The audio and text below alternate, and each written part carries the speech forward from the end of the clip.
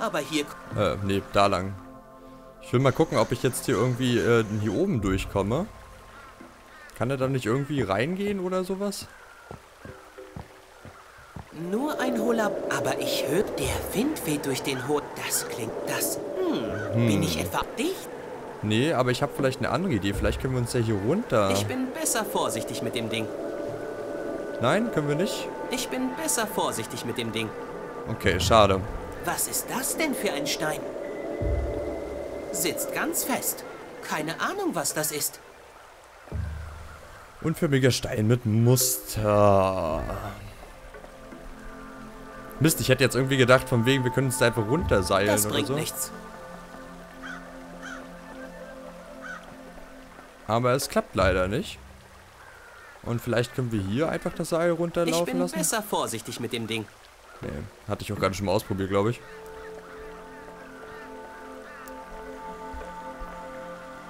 Hm. Also, hier ist sonst nichts Interessantes, oder? Pilze? Das sieht aus wie eine kleine Treppe. Aber die Pilze müssten noch ein ganzes Stück wachsen, damit ich am Baumstamm hochlaufen kann. Hm, dann könnte ich auch nachschauen, warum es dort oben schneit.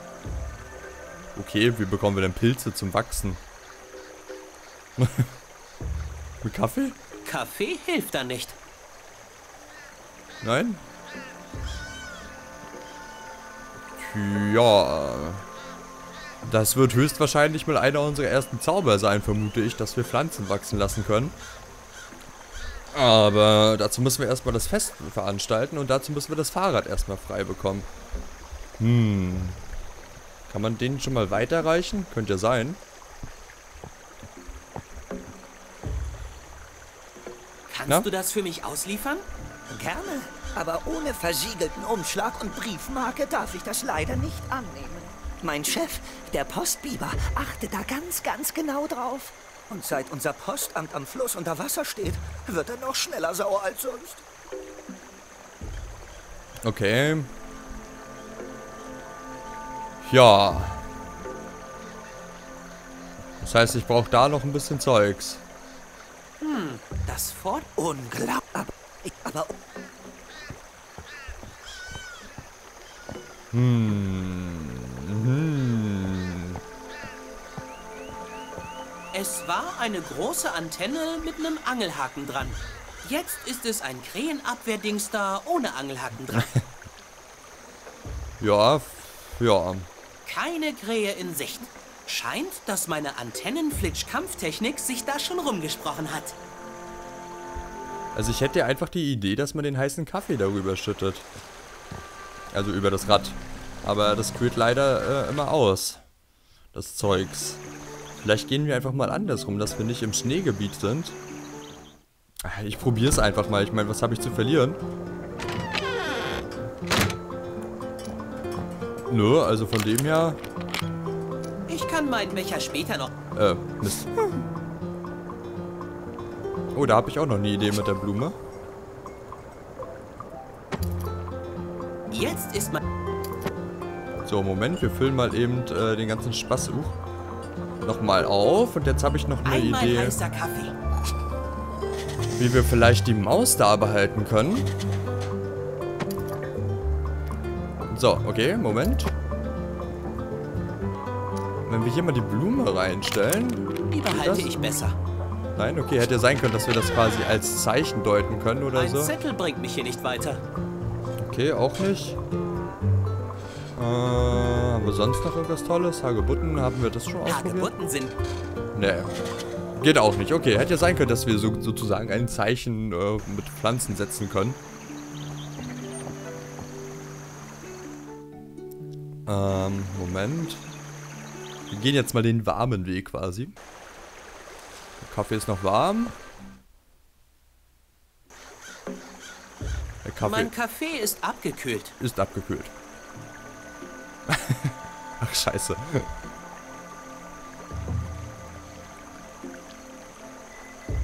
Äh. Vielleicht bin ich auch zu sehr darauf fixiert. Das könnte auch durchaus sein. Hm, schnell dahin fließender Bach. Okay, also bringt das hier alles nichts so richtig. Huch. La la la la la la la la la. Da haben wir schon, das haben wir auch schon. Was ist das da oben? Da komme ich nicht dran. Wir können ja mal den alten Stocktrick ausprobieren. Ein Stock bringt hier nichts. Nein, okay. Äh, überfluteter Weg, da kommen wir wahrscheinlich auch nicht, nicht durch. durch.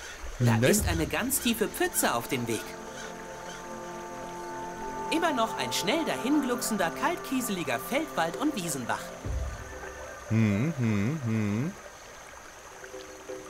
Wohin geht's denn da eigentlich? Das wäre auch mal interessant. Auf dem Schild steht Fahrt in den Sumpf. Vorsicht Mücken. Okay.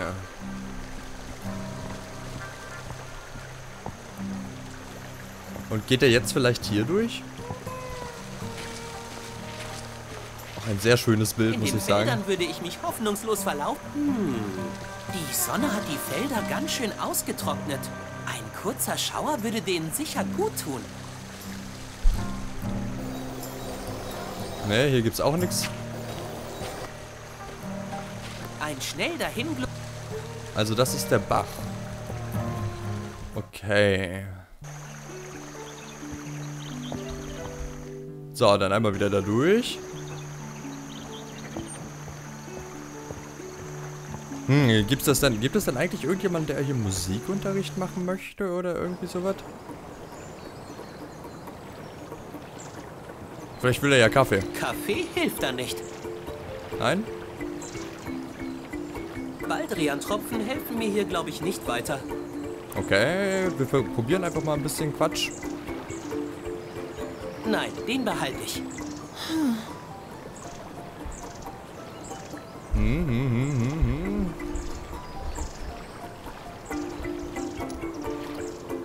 hm. Nee, aber jetzt, äh, mir fällt irgendwie gerade nichts mehr ein. Vielleicht mag er noch einen Becher mit kaltem Kaffee. Das habe ich schon gemacht. Hoffnungslos. Okay, also wir müssen irgendwie gucken, äh, dass wir, also wir können in den Kaffee Baldrian-Tropfen packen, das ist ja schon mal klar. Aber wer mag dann Kaffee noch haben?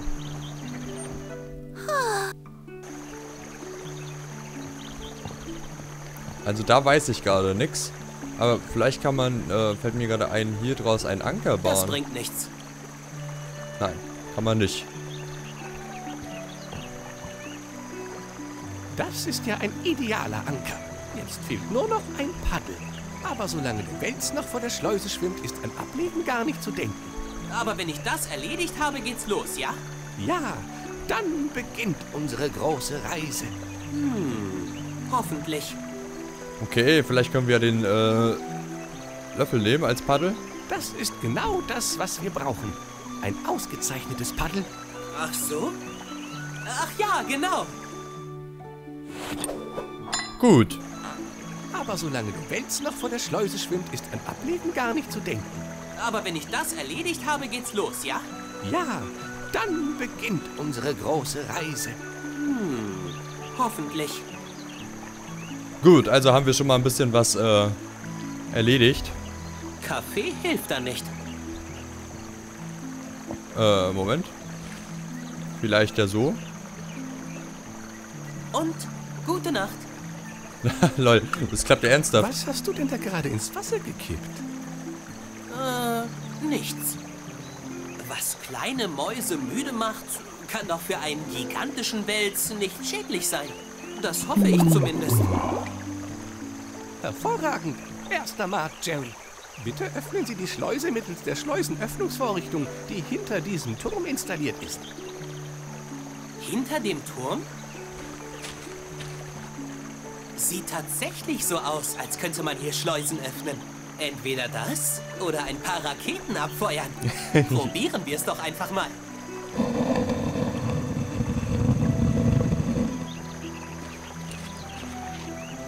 Lasse Ihnen den Vortritt auf der Jungfernfahrt unserer RV Blattgold.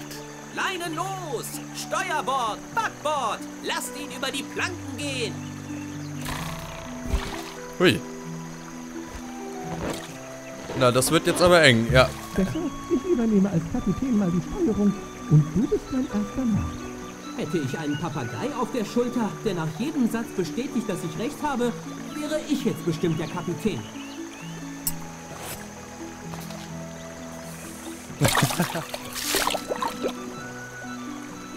Ach, wie schön, jetzt können wir damit rumfahren. Und vielleicht kommen wir ja so zu dem Zwergenhäusler. Halt! Wer flößt dort den Bach hinab?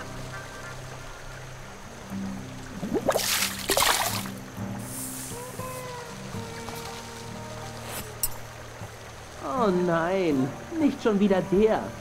Wasserstraßen baut 400 Laubtaler. Du meinst wohl Maut?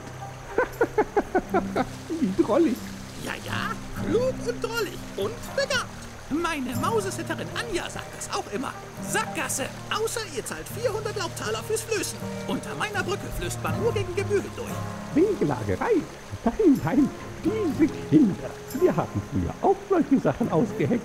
Da muss man als Erwachsener auch mal ein Auge zudrücken können. Aber, aber vielleicht sollten Sie ausnahmsweise mal die Geduld verlieren.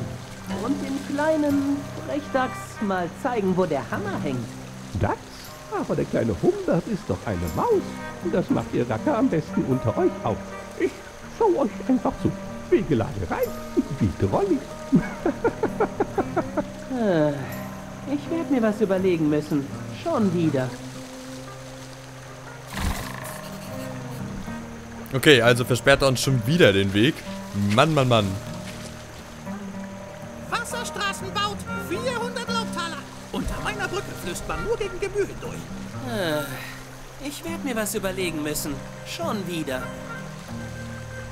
Äh, Kaffee? Wertlos. Wasserstraßen baut 400 Laubtaler. Außer für mich. Und vielleicht meine Mausesitterin Anja. Sie sagt, ich bin ein begabtes Kind.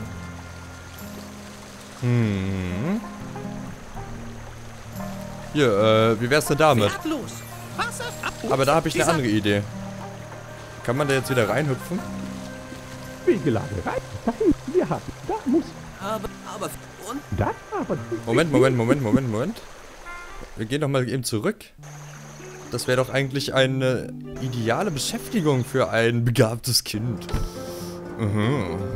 Äh, also ich meine hier diesen Zettel hier, ne? Wir haben doch diesen Zettel mit äh. Violinenkursen. Und das wäre doch eine super Idee. Jetzt frage ich mich bloß, warum sie das nicht weiß, wenn das wirklich so passt. zurück. Guck mal hier. Eine wunderbare Idee. Ist es? Ja, genau das Richtige für den kleinen Humbert. Dann kann er zusammen mit Lato Violine spielen. Ich werde ihm ganz bald davon erzählen. Aha. Also, das ist eine sehr, sehr gute Idee gewesen. Und vielleicht ist der kleine Plato ja jetzt weg. Kleine Nervensäge, Nervenmaus oder was immer. Wie was? Das dumme Wiesel mit dem Hut hat mit dir gesprochen? Hä, egal, was es gesagt hat, das stimmt alles gar nicht. Es ist ein Lügner. Lügner, sag ich. Wirklich? Seine Broschüre sieht aber doch sehr vielversprechend aus. Hier steht sogar, dass es nur wenige Schritte bis zu Ruhm und Achtung durch ein Massenpublikum sind. Wie was? Ruhm? Was steht denn nun genau auf dem Ding? Hier steht, dass der berühmte Maxim Mauserkow zurzeit in Mauswald ist, um einem einzigen ausgewählten begabten Schüler das am schwersten zu lernende Instrument der Welt beizubringen. Nur einem einzigen? Hier steht, dass der Schüler besonderes Talent haben muss. Naja, talentiert bin ich ja. Und klug noch obendrein. Sicher, klug und talentiert bin ich. Siehst du, Jerry hatte also doch recht. Humbert, du kleiner Rabauke, du bist genau der Richtige. Na klar doch. ich werde ein Rockstar. Du kannst durch, komisches Wiesel. Ich habe keine Zeit mehr für dich. Wenn du mich das nächste Mal siehst, dann wahrscheinlich auf einem Plattencover oder auf der Bühne. Die Tickets werden aber sicher teuer sein. Nicht wahr, Anja? Na ganz bestimmt, du kleiner Fratz. Gut gemacht, Jerry. In dir steckt ein wahrer Baumläufer. Jetzt können wir uns weiter den Bach runtertreiben lassen. sehr cool. Also hat das alles äh, voll geklappt, so wie ich mir das vorgestellt habe. Und dann mal rein ins Boot. Ach, ja. Es erschließt sich einem gerade alles so schön und jetzt sitzt auf einmal der Pfosten auch wieder andersrum. Und Strohhalm raus und los geht es.